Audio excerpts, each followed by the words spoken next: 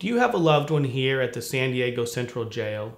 I'm former DA, now criminal defense attorney Neil Shouse, and I'm here to give you some key information that you'll need to know.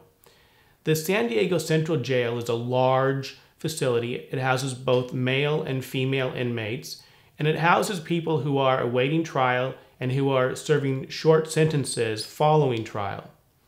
The San Diego Central Jail is located here at 1173 Front Street in downtown San Diego. You can reach the jail by calling 619 615 2700.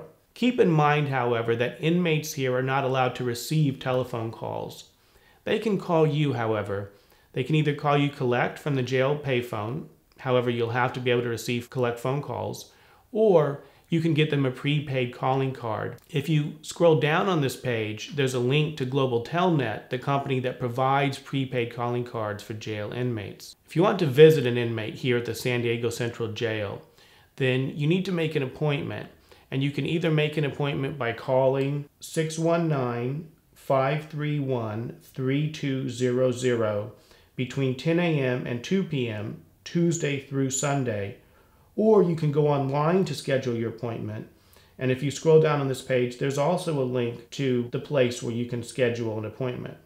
If your loved one is here at the San Diego Central Jail and you need somebody to help you with the bail and release process, or you need a criminal defense lawyer to go to court with them and help them fight their case and try to get the charges reduced or dismissed, then we invite you to contact us here at Shouse Law Group. We have a team of former prosecutors, former police officers, private detectives, with a great deal of experience dealing with the San Diego Central Jail, the San Diego Police Department, and the San Diego County Court System. Give us a call. We'd be glad to help you further.